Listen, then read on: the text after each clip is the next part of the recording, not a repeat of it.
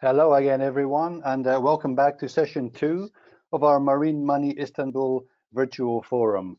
As I said earlier on, we're all very sorry that we're not uh, enjoying each other's company in Istanbul overlooking the Bosphorus, but uh, this is what we're able to do. We're very happy that we're able to do it, and uh, we're planning ahead already for 2022 when hopefully we will indeed be able to be in Istanbul.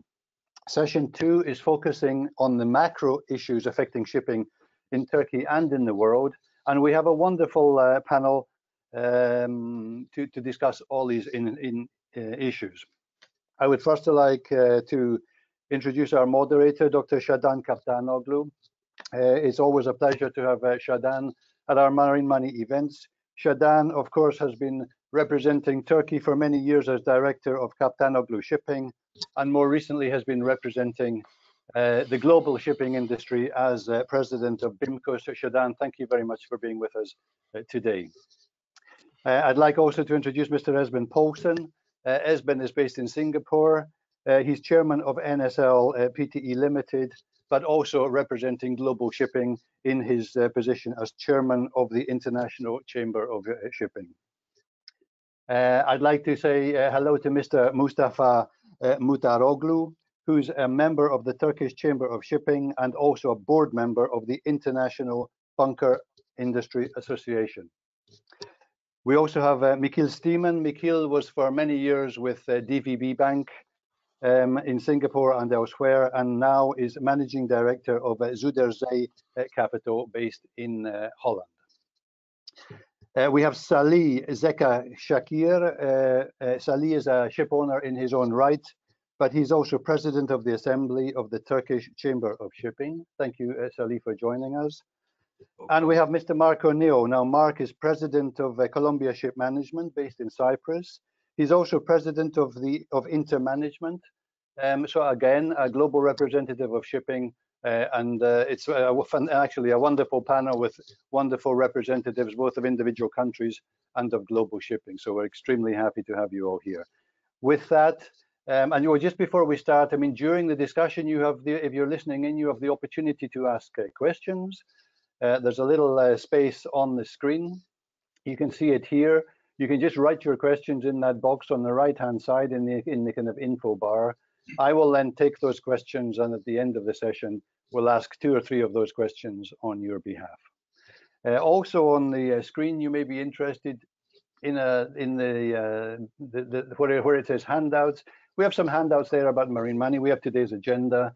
Uh, we have uh, our um, schedule of events going forward. Hope we hope that many of these will be physical events later in the year, uh, and also we have a, a brochure uh, about marine money coming together again.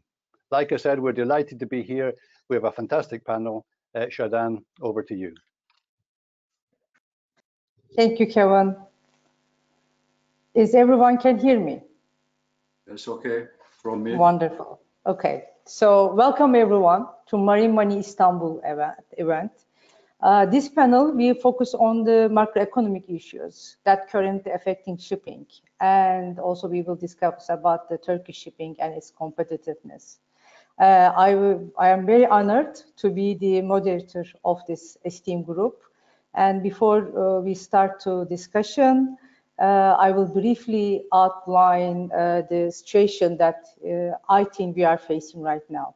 Overall, the global economy has progressed better than was expected at the start the, of the pandemic. This is certainly the case uh, for the some shipping sectors, which have been able to profit from the stimulus measures many governments have rolled out over the past year. The International Monetary Fund forecasts that the global economy will grow by 6% this year, bringing it back up to the pre-pandemic level. This achievement would not be possible without the support of the extra government spending we have seen since the pandemic began. Unfortunately, the global recovery is and will continue to be uneven, both geographically as well as across industries. Over the course of the past year, the pandemic and the measures put in place to limit the spread have devastated some industries while leaving others relatively unharmed. To a certain extent, this has also been the case of shipping. Tanker shipping is still struggling with the effects of lower oil demand. On the positive side, the recoveries of major economies around the world have provided a boost for dry bulk and container shipping. Stimulus in China and the strong US retail sales due to the US stimulus have been great for shipping. However, with service reopening, the share of spending on goods, which is all important for shipping, will fall. Globally, the recovery will be uneven again. It will reflect how able, how able governments are to spend their uh, way out of the crisis and it will reflect their access to vaccine and ability to deploy the vaccine. I'm afraid the path ahead to a new normal, we see both winners and losers, and it may shake the global relations further. And yet, still, we are going through unprecedented times. And I think during the pandemic, we learned a lot of things. And also we see that pandemic acts as an accelerator of some of the issues. For example, we learned that our global supply chain is not resilient. I want to clarify what I mean because in shipping, we did great. We did a great job, but to the cost of our seafarers. So during the post-COVID, we should deal with the with this and be sure that our great industry is resilient. Pandemic also accelerate our response to climate change. So it is not possible to talk about macroeconomics uh, of shipping without talking about environment, especially the decarbonization of shipping. Ship owners are committed to decarbonization of shipping. But I have to say, this is a very complex matter. after saying all this, I I know that I am not optimistic. I never be an optimistic. Also, you know, being a BIMCO president also kind of give you uh, always responsibility to have a balanced uh, outlook. But uh, we are very very lucky today because we have this all value, valuable panelists, and uh, I will be uh, dividing the conversation, if possible, to two. We will start with macroeconomics and also the Turkish shipping and its competitiveness, and then maybe we'll go to the environment uh, issues. And uh, and I will also start with the international uh, friends we have. And uh, Esben, we are. I'm very happy to see you here. Welcome and thank you for participating. What is your opinion on macroeconomics and uh, and also, you know, what do you think that how the world will be post-COVID and where the Turkish shipping, you know, find its place? Thank you. Well, Sadan, you, you've uh, just made uh, such an excellent introduction that contained pretty well most of the points that I was hoping to make. Um, so either we have the same briefing people or, or, or whatever, but no, I, I think you, you have you have laid the groundwork very, very well. The fact is that, to the surprise of many, uh, I think you could say, the the fallout from this crisis hasn't been as bad overall as one would expect it. There's a lot of distortion, and unfortunately, as always in international relations, there's haves and have-nots. The the developed economies um, have, through as you rightly said, um, enormous amounts of money being pumped into their respective systems, um, you know, save their their populations, relatively speaking, from the absolute harshest aspects um, of what this crisis brought. But nonetheless, you would have to think that uh, money printing is a fine thing, but but to me, uh, maybe I'm very old-fashioned, but money printing, I, I cannot believe is sustainable forever, and there must come a time uh, when it when it has to stop and when productivity and economic activity will generate sufficient funds whereby governments can start taking some of this money back into their coffers again. But at the same time, when when you look at the resistance there is to tax rises in particularly in the developed world, it, it, I find it a bit hard to to see. But but as you rightly said, the, the forecast of the IMF is for a 6% um, global economic increase this year and 4.4% in 2022, which are, you know, by any measure is, is pretty good. But it is, I think it is a little uh, distorted because some countries are way, way, way behind that. And that just leads me on to the, the impact of the vaccine, of course, is really everything now. Um, and not least, we in shipping owe it to do everything we can to to make sure that our seafarers are, are and they are at the top priority to be vaccinated. I know that BIMCO is working on this. We are working on it, and all the associations. Uh, we are trying very hard to see what we can do to help this process. A lot of owners, of course, are, are doing what they need to do.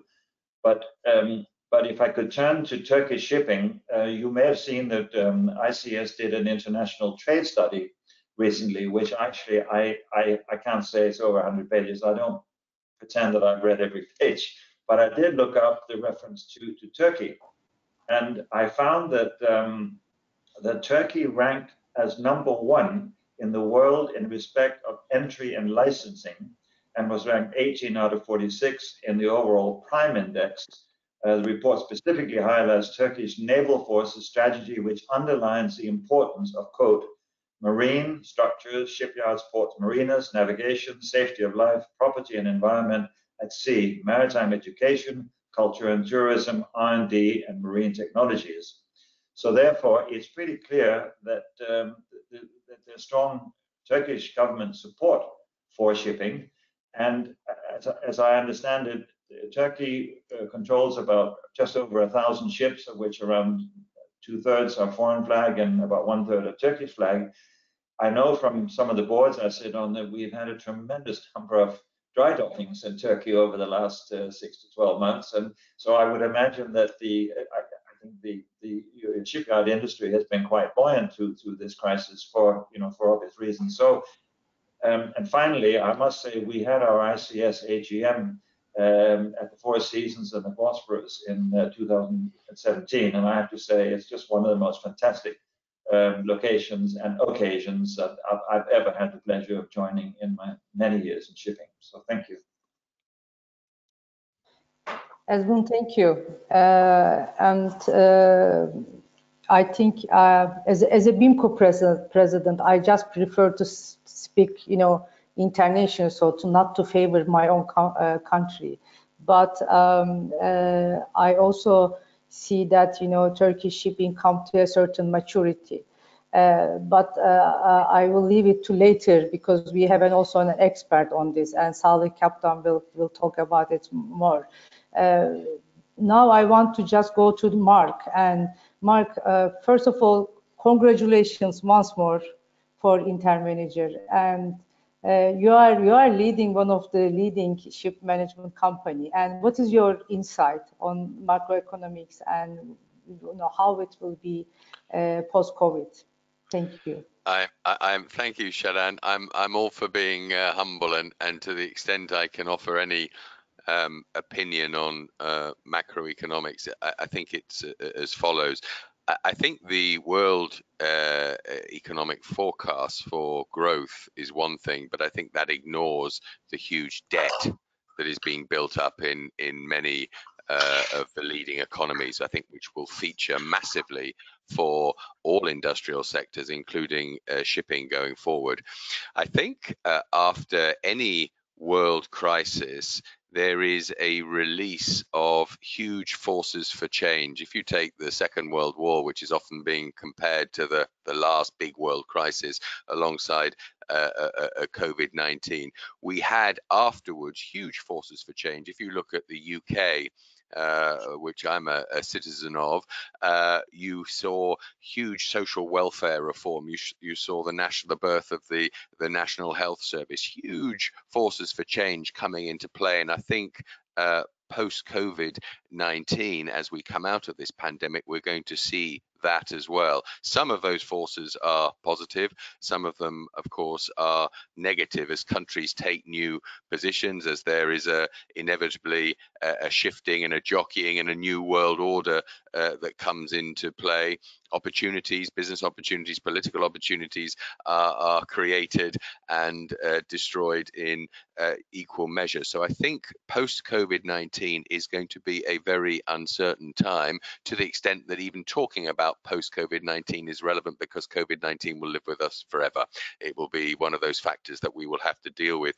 Shipping, as always, will have to nimbly tack uh, between these um, uh, prevailing winds. And, you know, I've no doubt seeing how we as a sector performed during uh, COVID-19 and continue to perform, not only with crew rotations, but also just with the, the logistics, we will cope with whatever uh, the world geopolitical situation uh, throws at us.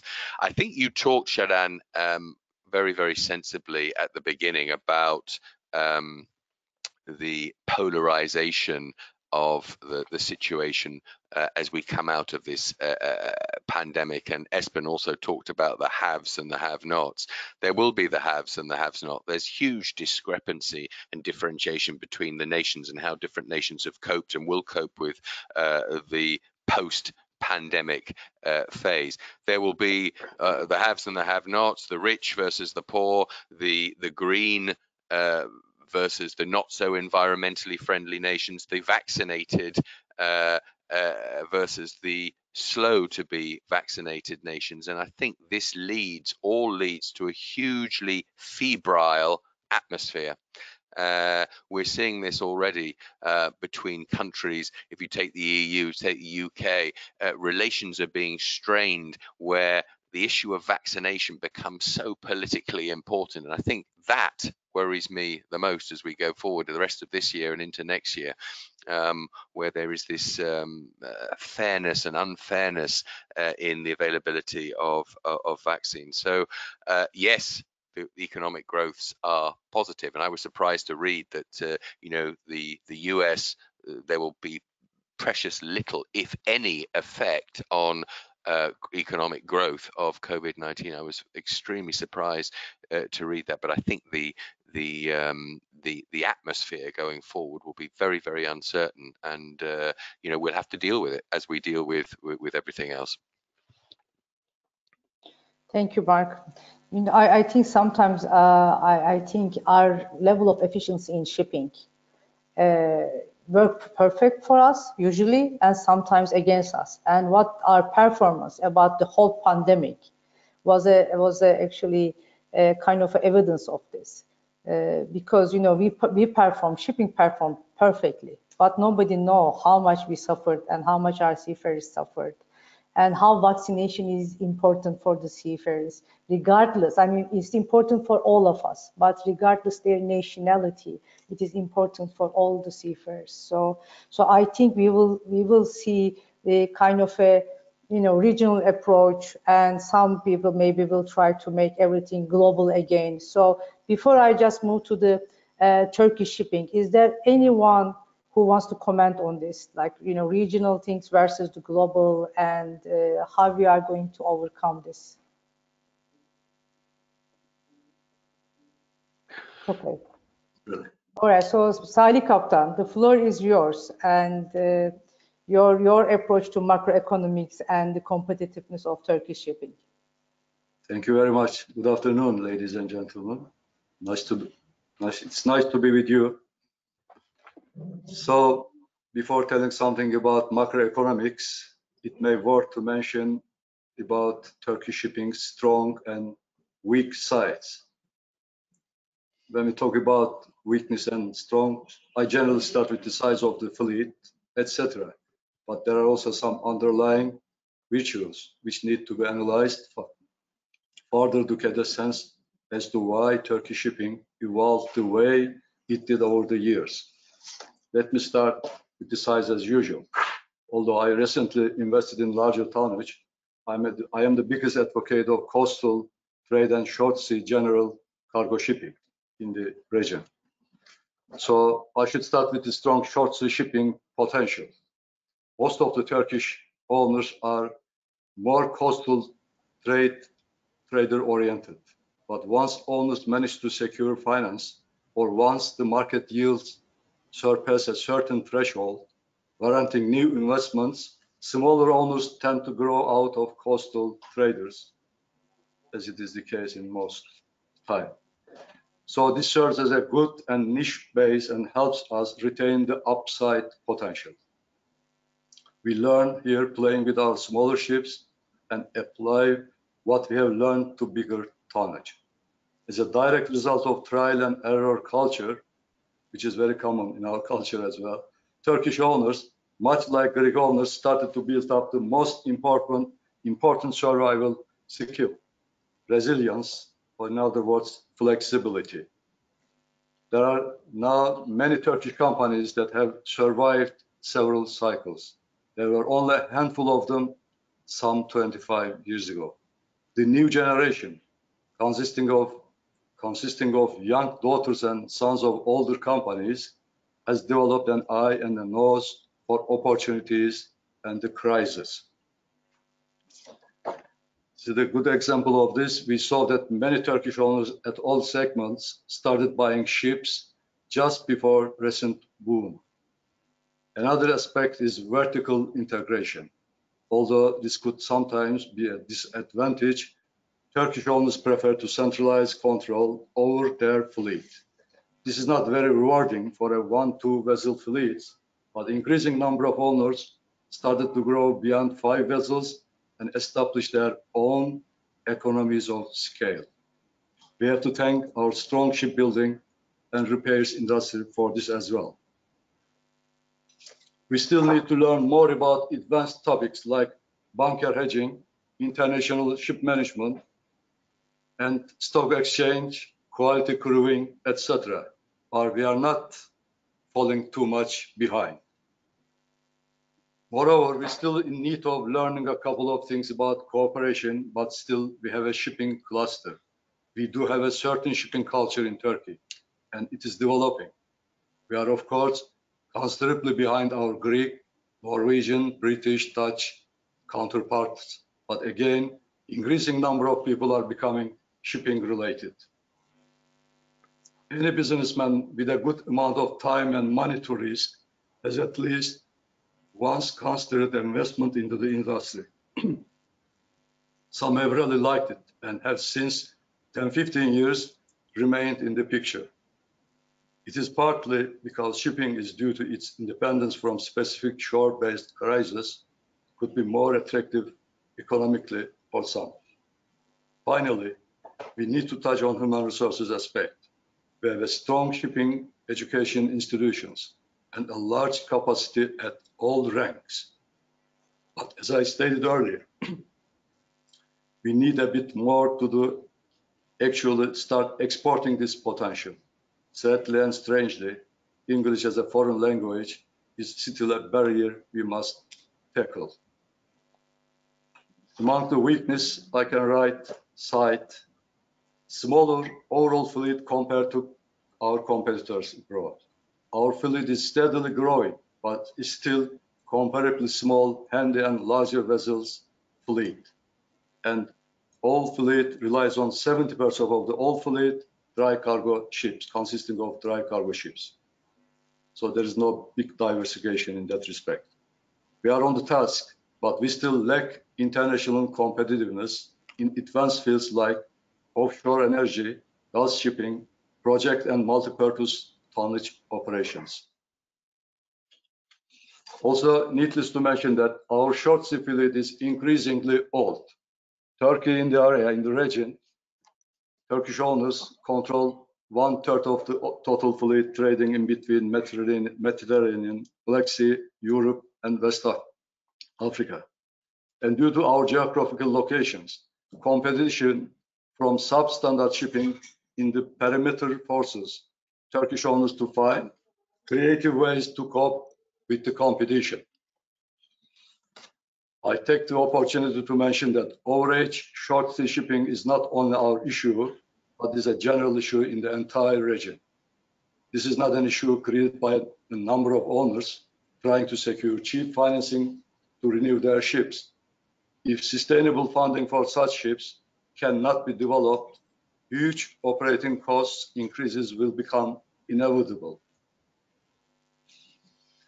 shipping demand is a dry demand, as all you as you all know, and if supply of tonnage is disrupted, especially for the small size, uh, I'm referring to the short sea shipping.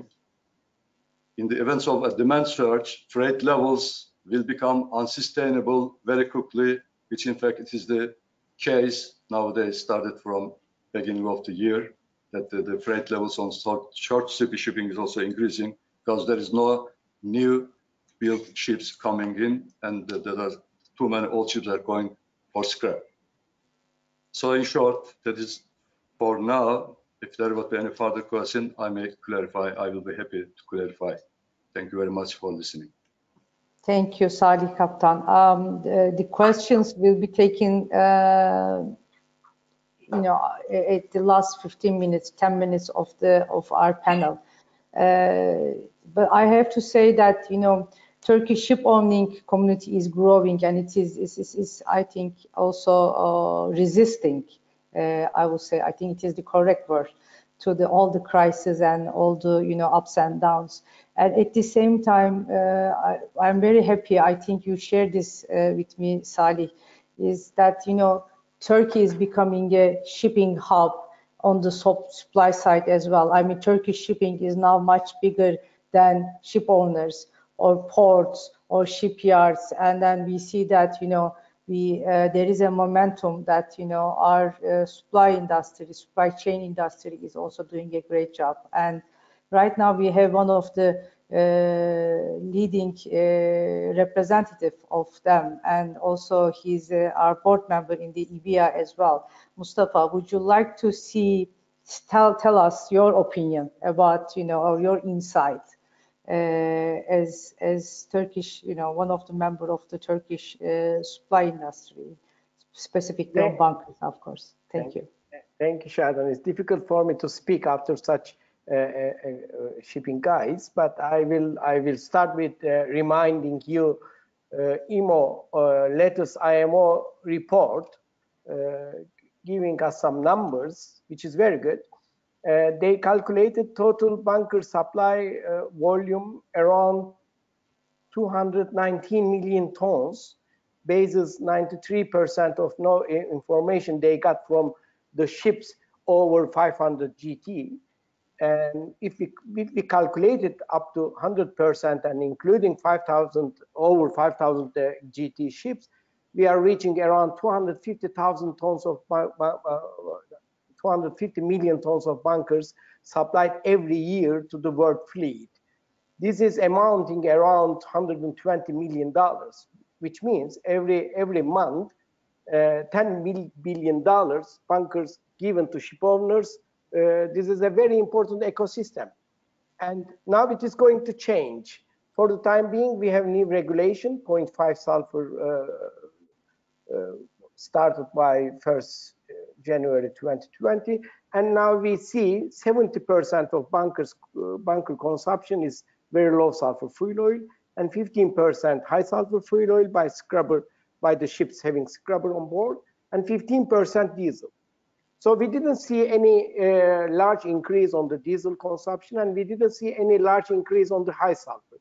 Number of scrubber ships are still still less, is, is, is increasing, but we have uh, 0.5 sulfur is a main bunker bunker product, which is not good enough for reaching IMO and uh, European EU uh, goals. We, we want emissions to be reduced down to very low levels and zero in this century. So we are not okay with this kind of oils and we have to find new fuels. We start with LNG, uh, which is very rapidly out now because it is it is not helping 100% for these emission goals. So we have to find new, new, new energies, new fuels like ammonia, hydrogen, uh, many, many things. So the ecosystem and the supply chain is going to change very rapidly. Already, for example, Maersk, the leading container line, they have you know 740 ships, and they said by 2023 they will start using emission-free oil. And by 2030, we have to have a uh, certain reduction on the emissions. We have to use other, other, other oils. What we are going to use? So we don't really know. So if I am ship owner, I wouldn't buy any ship. I wouldn't order any ship. I don't know what I'm going to burn in uh, in seven, eight years time. So this is very much challenging uh, uh, period, and it is really changing very fast. And we have to first ask if really these traditional uh, shipping companies, like in Turkey or in Greece or in Europe, uh, what they are going to do if we can really manage this change. So we have to start talking about this change and we have to find some ways. For example, IMO must do some, some something further or BIMCO or the associations or the shipowning associations. We have to really do something new. It's going to change very fast. So at this stage, I would like to remind you this this main item. Then we can we can discuss further. Uh, we will be discussing that item actually. But uh, can I just ask you, as a, as a supply hub, how do you see Turkey now, as it is? Well, yes, we are. There are 3,000 ports in the world. Every day, every hour, every minute, bunker supplies are taking place. Istanbul is the number 14th biggest supply hub in the world and we are second biggest in the area after Gibraltar. We are selling bunkers more than Russia, Romania, Bulgaria, Egypt, uh, Greece, Malta. Who, uh, in this area, we are second biggest, around 3 million tons. Of course, we got some uh, reduction, some decreases uh, due to pandemic. We are selling around 2.5 million tons. We are, we are ready for all kind of oils. And we are also ready for LNG. There is a LNG terminal nearby Turkey, but uh, nearby Istanbul. But who is going to build LNG bunker barge for 35 million dollars? So, uh, so we are okay. We are, we are supply hub, but we are, I, I can't say anything right now for the new energies, for the new fuels. Okay, all right. Um, thank you. Um, I always believe that, you know, despite of we have very uh, esteemed guests here, that money should say the last word, which will bring us to uh, Michael. And uh, so what is the current trends? And uh, also I know that you have a, quite an experience with Turkish ship owners. And, and if you just, you know, give your insight on this as well. Thank you.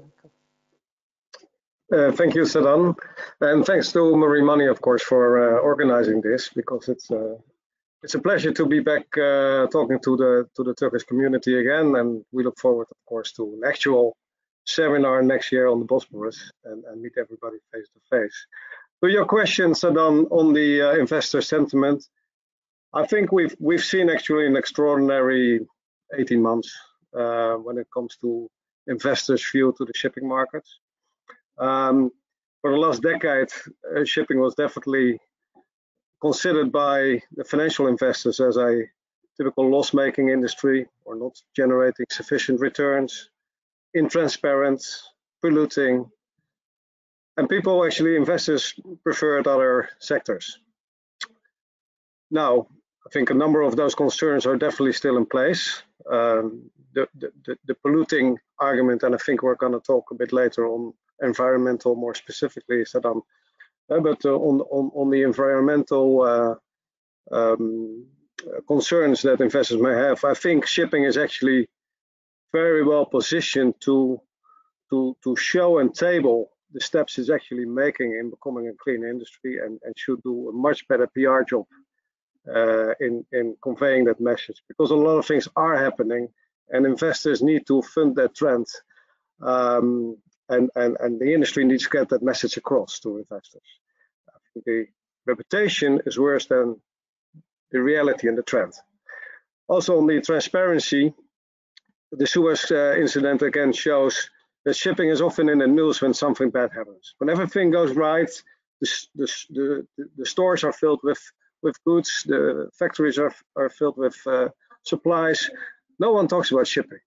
But when, when there's a lack of transportation because of a Suez incident or at the start of COVID when there was a hiccup in the, in the ports, everybody suddenly notices, hey, we lack, we lack the cargo, we lack the goods. So shipping, um, ship, shipping should convey its positive message much better to the investor community that it's a vital industry to uh, to provide the services. And when there is an incident, like in Suez, that is actually clear who's the owner of the ship. Uh, someone gets to the press, explain uh, what's being done. The third concern that people typically have in the past is the lack of uh, profitability of the industry. Now here, the COVID uh, situation, of course, showed that uh, shipping has actually responded with uh, tremendous resiliency to, to what we saw at the start of the pandemic. Um, of course, there were there were certainly uh, dips in, in, in rates immediately after the COVID pandemic started to to become a global pandemic. But quite quickly, uh, rates, uh, of course, improved, and especially on the container side, they have been uh, um, at levels that we have not not seen in the last decades. So I think the investor community is now looking at shipping with interest. It's being noticed. Of course, the tanker markets are still lagging behind, but it's noticed that shipping is actually a profitable sector and worth investing in. And the ongoing demand for cargo is there to support that. Um, of course, the supply side has been the, the, the, the, key reason why the last decade has been so challenging. And now the supply side uh, clearly has improved. The, picture, supply picture is, has, has, improved tremendously. Mustafa talked about the, um, the, the doubts that you may have as an owner. What kind of ships do I order? Because who knows what kind of uh, fuels are required in eight years' time it's actually those doubts and concerns that actually help uh, the, the, the short-term, medium-term uh, freight rate outlook because of the uh, the, uh, the, the, yeah, the, fact that supply will remain limited. So let's hope the industry can uh, can remain disciplined in, in, in, in keeping that supply sensible. Although you see, of course, now the container vessel orders uh, increasing again. But summarizing, typically when we as I say talk to investors about the industry, try to get new money into into the sector. The investor community typically finds shipping a difficult industry to understand, but they're starting to see that relative to the typically more safe hubs like commercial real estate, aviation, which was until 18 months ago much easier to attract uh, funding into, suddenly they see, hey, uh, there's more resilience in the shipping industry than we thought uh, there would be, and it's worth investing in. So important to keep explaining the industry properly to the investor community and help them to, to fund the ESG trends rather than to stay on the sideline. Now, moving on to, uh, I'm conscious of time as well. Moving on to Turkey specifically, here again, I think that the Turkish shipping industry has a lot um, has a lot to go for. There's a tremendous amount of operational expertise in the, amongst the Turkish uh, operators. There's a tremendous amount of asset expertise, uh, also supported, of course, by the uh, by the yard business and the repair yard business, which is uh, which is of course uh, flourishing in uh, in Turkey. Um, also, in my previous banking job, we've had a lot of good experiences in dealing with with Turkish ship owners, cost competitive as well. Um, so I think also there, uh, Turkish owners should be well positioned to bring in institutional uh, investor money. Of course, the, the key concern there could be uh, a country risk, uh, political risk concern. So it definitely has to be mitigated in the structure uh, of an investment proposition. Uh, but operationally, I think the Turkish community should be well positioned to also attract investor funding. Thank you, Michael. Uh, I, I, I, think, uh, you know, when I started to ship, the country there, and then it disappeared. And the cycling of this nature, and also in the middle of uh, one of my, you know, again, my career, the nobody likes shipping. And then, you know, out of sudden they like shipping, and then they hate shipping, you know. So uh, you know we have a cyclic uh, business but also our you know the, the the mood against the world towards us or the country is also changing so and i i just want to hope that you know uh, if we take our lessons as you say uh, michael then maybe we go, can go as not only turkish shipping but as a whole to a better future and i think in the better future we have to fulfill our responsibilities for environment. And I cannot think of anyone better than Esben and I know you will hate me because of this, but to actually set a scene and uh, what is happening now and what are the challenges um, uh, on on that front. Esben, floor is yours. Thank you. Well, Sadan, um, you know, to me, the move towards uh, tomorrow's fuel is a race, and and a race is a good thing because it it gets everybody engaged, and the prize is tremendous. So at the moment, um, you look around you, the, some of the big companies you mentioned, Maersk earlier and others, are, are, really going for this in a, in a big way. And I, I make the analogy, if you look at the vaccine, who was it that did it? It was private industry. Who is going to solve this issue? It's going to be private industry, in my opinion. If we wait for regulation, especially global regulation, it won't happen. We have to do it. And I would say that the whole momentum is well on the way now. I think there really are things happening every day. You hear of something new and somebody trying something new. The R&D funding that's going into this issue is just enormous and growing. From an industry perspective, we came up, as you know, with our R&D fund, five billion. Uh, this is two dollars per ton of, of fuel consumed. It took us three years to do it, working as a unified industry with be BIMCO, ourselves, you know, industry did it, but it took three years because there were a lot of opinions on it. And what happens? We get to the IMO, very positive about this, and then you get countries saying, well, you know, we're not sure about this, and yeah, we don't really like this and that. And all of a sudden, oh, you know, it's uh, MEPC, it'll be the next one. And I think this is a pity because I think what what what I've said to several governments I've spoken to is, we get grief from you about how terrible we all are in shipping. We don't do this and that. We then come with something concrete that we have done 100% of our own bet based on our Paris Agreement on uh, shipping of 2018, which again we came up with. And and yet we run into opposition. So I, I find this very, very disheartening.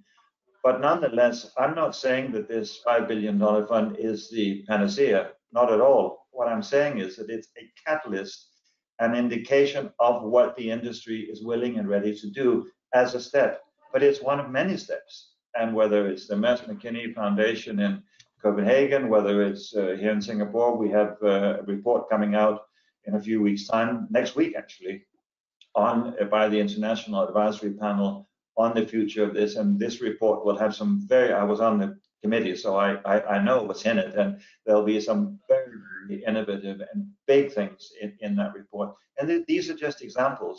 But if if we as industry work together on this, and and rather than just looking at it competitively, collaboratively where possible, uh, I have no doubt that we will get there. Thank you, Esben. I think you know uh, the you know we shipping associations always work you know closely and thanks to pandemic, we start to develop a very different chemistry. And uh, that's why I just can say that, you know, in shipping, I know it is very competitive. And sometimes when I speak, then I see notes or, you know, comments saying that, uh, why are you so collaborative? Why are you so trying to unify? Because this is bigger than an individual. So we have to be united on this. And I absolutely agree with you. Uh, that will the solutions will come from the private sector. And I and then of course we will continue to support our research and development fund. Hopefully, you know, IMO is our you know temple. Uh, but as you know, when you go into a temple, sometimes when you go out, you're a different person. Let's hope that this time, you know, we will succeed. Uh, but under any circumstances, you know, I think we have no choice than, you know, working on this together. And Mark, you've been working with a lot of ship owners. And uh, what is the sentiment there? And uh, what is your, you know, thoughts on this, you know, the challenge? I, I think um, uh, listening to what everything's been said, I think that the wonderful thing about shipping and what we have to preserve and ensure we continue with is our flexibility and our nimbleness. And if you look at uh, uh, when I was a lawyer, I had some uh, wonderful friends and clients in Turkey, yourself uh, included, Sadan. I'm, I'm very pleased to count count you as uh, uh, as both of those when I when I was a lawyer, and I was amazed at how flexible the Turkish yards that were involved primarily in shipbuilding prior to 2008 adjusted to the uh, to the 2008 financial crisis and then took up uh, repairs and uh, refitting and have done so amazingly successfully well and now are back into the uh, very successfully in the, the shipbuilding uh, model as well. So whether it's yards or whether it's shipping it's this flexibility uh, and agility. What will change? The drivers for change going forward though i i believe uh, is shareholder uh, shareholder, whether it is political shareholder, stock value, or commercial. The, the it's not just commercial because populations having gone through this whole pandemic have had the opportunity to think about what is really important. I can tell you now, I can give you a little anecdote. Yesterday morning, our chairman came into uh, the office and, and threw onto my desk a lot of plastic mugs that were sitting beside the coffee machine and he said it's not acceptable anymore. Get rid.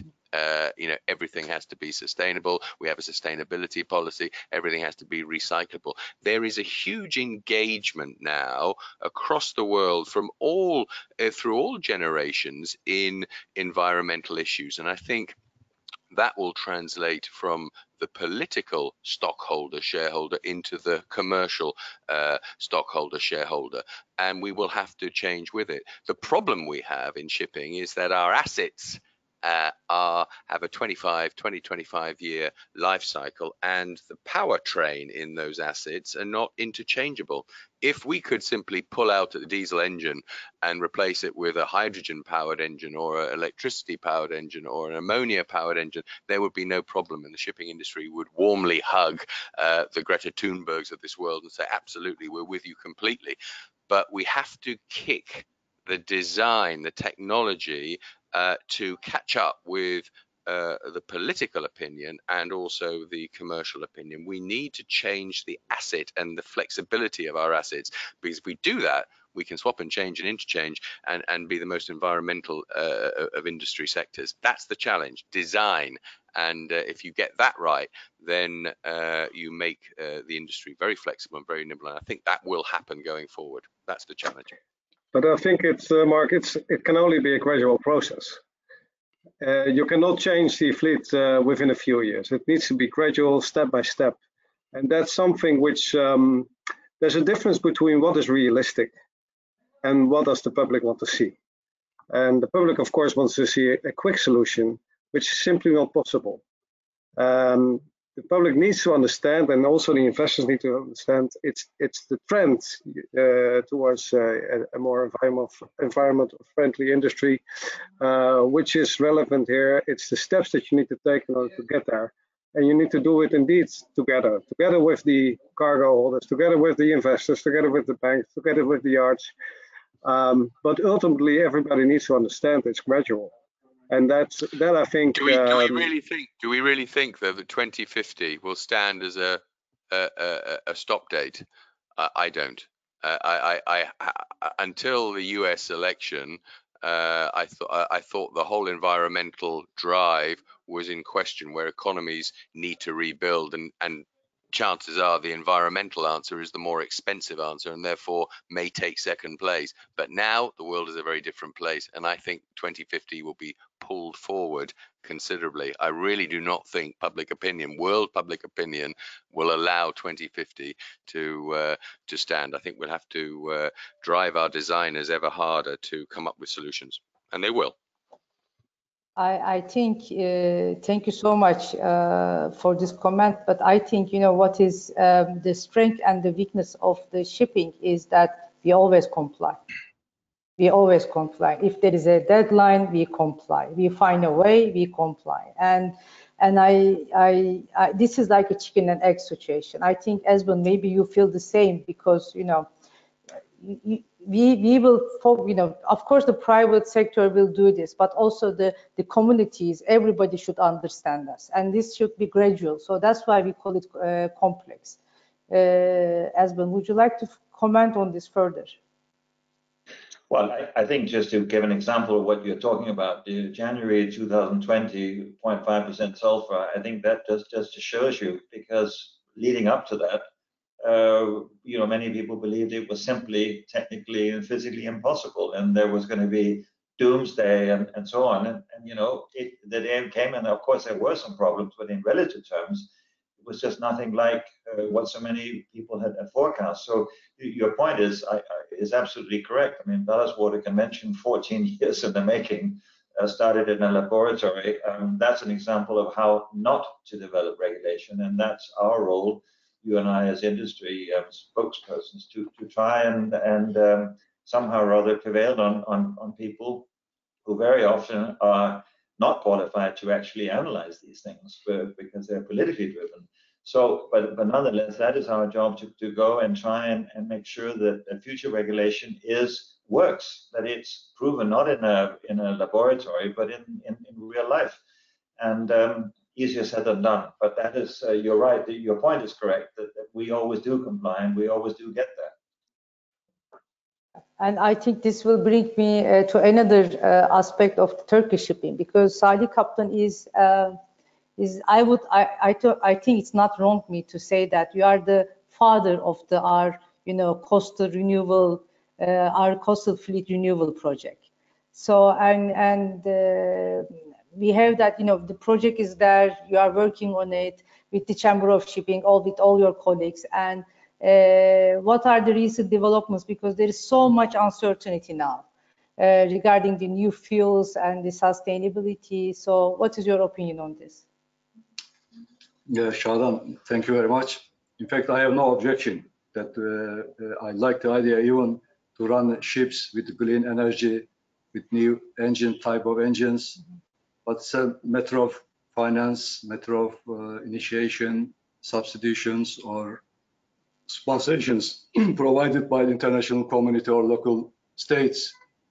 So we have, uh, in, in that respect, in our community, we are on the on the weak side so in our project, when it comes to renewal of the coastal fleet trading in this area, aging something 27 years old.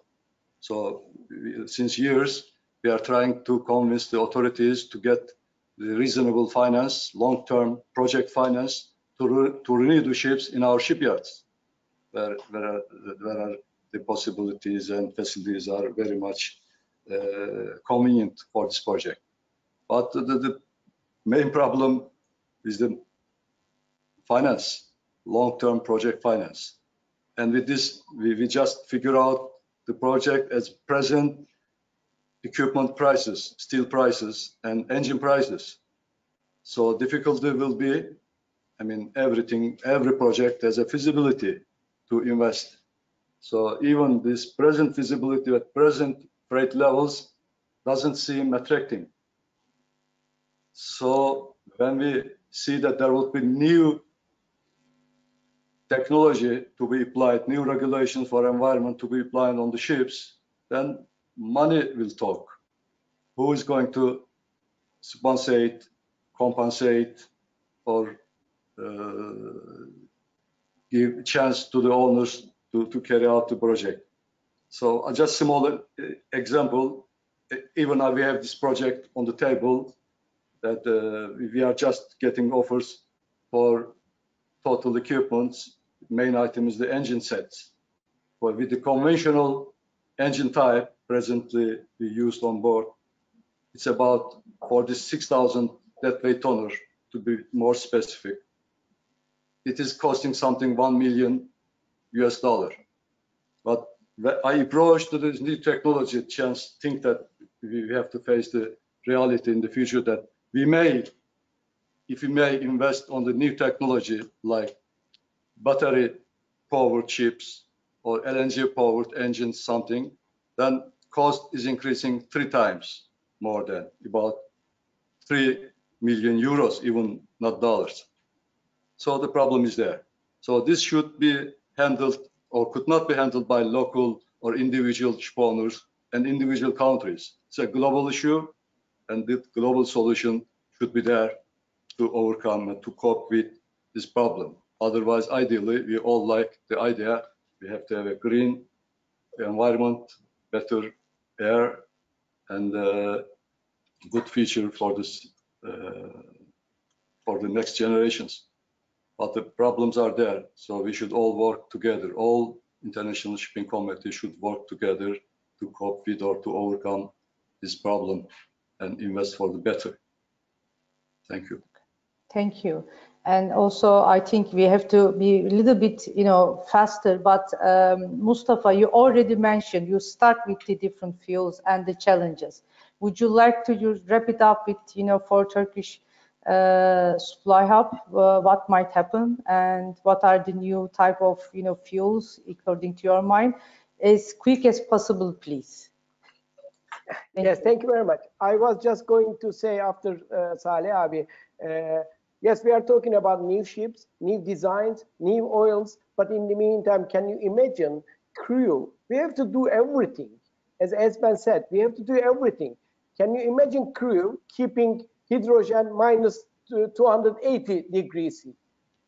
Can, can you imagine how, how, how you can manage your ship? How you can educate this crew on board? So it's, it's a totally, totally different world. And regarding yes, Turkish uh, Turkey being you know supply hub, it's not only bunkering, but you know we do supply provisions, water, lube oil. We have the uh, I think the longest list in lube oil supplies, for example, every single uh, uh, uh brand available here. So we are going to change uh, in line with the shipping industry. Uh, you know, Turkish people, we are very, very creative. We are hard workers. We, we will be supplying your ships, don't worry. But I don't know what we are going to supply. The, uh, the, the certain issue for our area is if Mediterranean Black Sea and Aegean Sea becoming ECA soon, this means uh, actually it's good for us. We will be converting to diesel 0.1 gas oil only this is really very clean and very easy, very easy for the operations, for the suppliers. So I think that the area in full Mediterranean will be booming. I mean, we will be supplying much more volume to the international shipping once we are we are ECA. I mean, all together, I can't say Mediterranean only. We have to be all together, uh, Black Sea, Aegean, and Mediterranean. Otherwise, you can't imagine any ship burning fuel oil in Black Sea, but gas oil in Mediterranean. It doesn't work. So I think this is the next step by 2025. If we are going to ECA, we will supply diesel, then you know we will work on uh, different fuels. But it's not only, as Salih Abi said, it's not only our our issue; it's a global issue, including crew, including supply chain, including you know everything, new design, uh, engines, and su uh, suppliers, supply barges, and everything. So Thank this will, I think, bring us back again to the money you know, yes. it's unbelievable how we always go around, around, and come I to money. solution. My, uh, Michelle, you can leave some billions here, and we will just, you know, do it for you. Don't worry. we have uh, so, suppliers, uh, everybody ready here. So leave, uh, leave your, leave your. Before finance. we start to raise money, let's ask what is the, you know, current trend and how the ship owners and builders and we all together can finance finance this uh, change which is a revolutionary change actually. So Michael, please. Yeah. No, thanks, Sadan. It's of course uh, majority of it is, is already covered in my previous answer. Uh, there is, I think, shipping really has the ability now that finally the, the industry is turning more profitable to become um, more attractive uh, to investors. It, it, can also tackle the transparency and the environmental agenda that, that investors may have. And on the environmental side, I'm convinced that with with the right with the right designs that are that are going to take the industry to the next level, um, which uh, which is going to, going to support the green trend.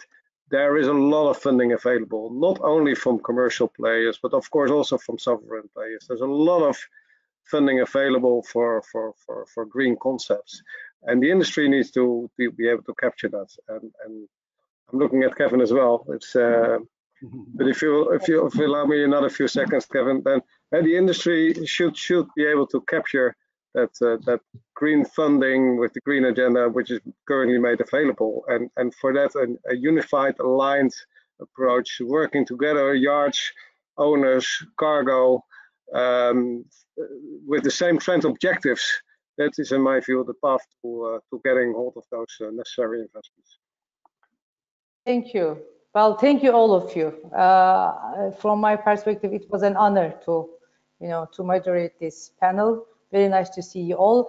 And I think we are a little bit over time, and I will leave the floor to Kevin now.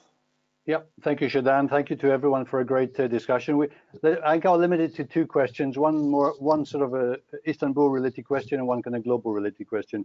Uh, this one is to uh, Mustafa, please. Um, the question is, do you think that the Chamber of Shipping, perhaps in coordination with local or national authorities like Istanbul City Municipality or the Ministry of Transportation, could consider investing in an LNG bunker barge, which could be built in Turkish yards and used to um, for, for, for, for LNG supplies in the Istanbul area? Is that a possibility? This is what we are actually discussing. I visit BOTAŞ. We have a LNG monopoly in Turkey uh, under uh, under state control company called BOTAŞ. They are really, I, I, I see physically, uh, they have an installation near Istanbul, which is very good. It's, it's just in a few hours sailing to, uh, to, to, supply locations. Yes, this is the project actually. I, I already offered our chamber to work on it. You know, maybe GİSBİR, our uh, shipyard association, our shipping association, and the BOTAŞ and the government and the ministry, they, they come together. But building one one bunker barge is really nothing for the time being. For example, in Istanbul, we have 60 plus barges supplying bunker fuels. Yes, we have to start somewhere. Yes, we need bunker bar, uh, LNG barge. This is a good model. We are already talking about it. This is already offered to the related parties. Hopefully, we will we will have something soon. Okay, great, thank you. And, and a final a final question, which um, I think it can be uh, addressed to Esben and uh, to Mark, and then we'll we'll finish with Sadan if you don't mind. Um, the the person asking the question said he was very impressed with the film which BIMCO uh, put out a few months ago. I think the film was called Ships Make the World Go Around. I too, I thought it was a great uh, film highlighting the uh, importance of seafarers. And also, Michiel, earlier on you mentioned uh, we need to do a better PR job as an industry and we have to get the message across. Uh, I interestingly read uh, in Lloyd's List, I think it was, uh, when, when the Suez crisis was going on, it was an article called No News is Sometimes Bad News, because actually that issue in the Suez Canal highlighted the importance of shipping, although it was it was a negative thing on, on the one hand for shipping. On the other hand, it highlighted how vital shipping is in terms of getting goods uh, to the um, to, you know to, to to the to the places they have to go to. So the question is, um, how is what is the best way to get this message across to the general public? We're all saying that you know the kind of uh, the the, the uh, endeavor to go green and being forced on us not by everybody but including the general public. How to how can we get the shipping message across that we are making an effort and we are doing a good job? Esben two minutes, please. Well, I, I, can tell you this is something that uh, I've heard this uh, in, on the 31st of August this year. I will have been in shipping for 50 years. And all those years, I've heard about our terrible image, and you only hear about shipping when the Erika or the Prestige goes down, or when the Mocha is and birds covered in oil. That's the only thing you, you ever hear about in shipping, or in this case, Ever Given in the Suez. And, and that is unfortunately true. But and I always swore to myself that if I ever got anywhere near a position where I could actually try and do something about this, I would. And so in ICS, we have now two full-time uh, communications people. That's that's two more than we had two years ago, by the way. And we have uh, arrangements with uh, external agencies and so forth. And what we're trying to do and have tried to do is reach beyond the, the, the maritime press. No disrespect to you, Kevin, but you know we're we're trying to to to engage in the, the maritime press. And we had a case actually where uh, we managed to get the crew change issue onto the front page of the Financial Times. And the Transport Minister of Singapore, Boon Wan, said to me, reading that article, he decided Singapore had to do something. And you know, this just shows you the, the power of, of a media of, of that of that kind. So the problem is we're starting from a very, very low base, but I know BIMCO have communications people and many of our National Association members have them. Uh, and, and so we should. But the thing is we cannot solve this problem overnight because, as I said, we're coming from a base of nowhere where, you know, single purpose companies were, you know, hiding behind beneficial ownership. Those days, thankfully, are long gone, and people are now fronting up. You know, if people do something, they're there. You saw that with Ever Given. No one tried to to hide that ownership and so on. So, you know, we're on the right track, but it will take time. Uh, but I do believe we're on the right track. Thank you, Mark. Uh, two minutes from you, perhaps. Yeah, in in the old days when uh, people when navies tried to get people to go to sea, they press ganged them, certainly in, in the UK and back in the 18th, 16th, 16th, 17th, 18th centuries.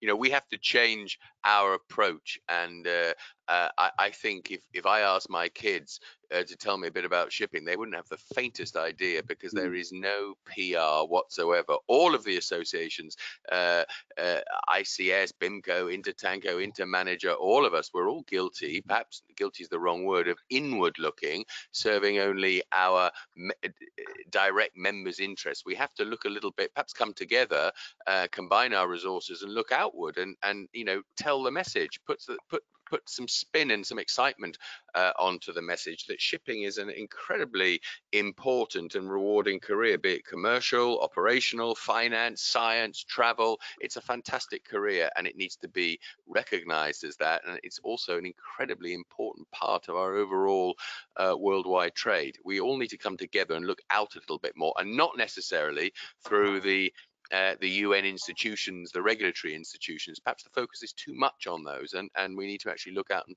tell the message from our yep. combined platform.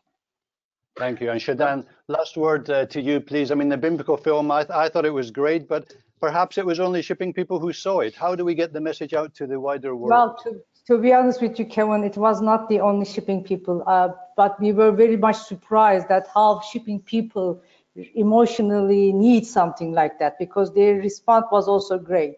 But we had a great response from the outside, and uh, now uh, BIMCO is preparing to actually the uh, to give a report. But what I can say is that uh, that you know uh, usually our website is is you know visited by like four to five thousand people max, mm -hmm. and it went mm -hmm. up to sixty thousand. And uh, and also, you know, as Esben say very rightfully, you know, in, in the old way, in the old days, shipping was very much reserved, but we don't think this way anymore. And ICS has a strategy, BIMCO has a strategy. In the roundtable, we have a joint kind, you know, almost a strategy, and and we are changing this. And the, from the BIMCO perspective, what we do is, for example, I was in the the Economics World Shipping Summit you know, this was the first for BIMCO.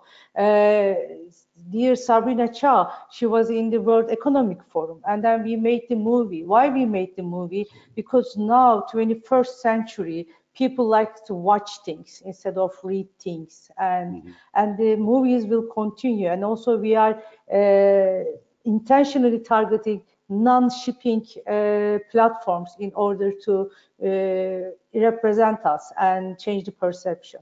Thank you. Thank but you, Kevin, maybe just to uh, just yeah, to add, uh, and I know it's brief. Um, within the industry, there is a front runner when it comes to PR, and that's the liner industry. If you follow the liners on on LinkedIn and on their website, there is an active communication of also the positive news to the crowd, to the public, and the public does pick that up. So the line industry is able to actually um, inform the general Mike, public on the steps it makes go into any high street in Germany or in England or wherever yeah. and ask, you know, have you heard of Maersk? You'd you'd be lucky. Uh, maybe one or two had. Uh, to Maersk to us is like, of course they have. Most people have know nothing about shipping. Even uh, the giants like Maersk. It, it's uh, we have a lot of work to do. We really do. Yeah. Sure, but they, there is an active, proactive uh, communication of, of the steps they are making, and of course, it ends it, the message will end up the desk the people that want to listen to it of course i, I, I think it's fair to uh, say that we, we have a consensus that we have to do more and we are doing more and we will be doing more. And because it is the time and the momentum is behind us. So i really thank you and then we will collaborate as usual as always. Thank you Okay, I'd like to thank you all for a wonderful uh, discussion. Sadan, thank you very much. Uh, Esben, Michiel, Mark, Mustafa, and Salih, a great discussion. And uh, like I said right at the beginning, we hope that we'll be able to reconvene in Istanbul uh, in about a year from now. It'll be wonderful. Absolutely. So thank you. Thank you very much. So we're going to Take care. Thank you. Thank you. We're going to reconvene again in in uh, in uh, 45 minutes um, for our third session. The third session has a closer look at shipping finance options in 2021. Uh, so if you're interested, see you then. Thank you very much. Thanks very Thank much. Thank you. Bye. Bye.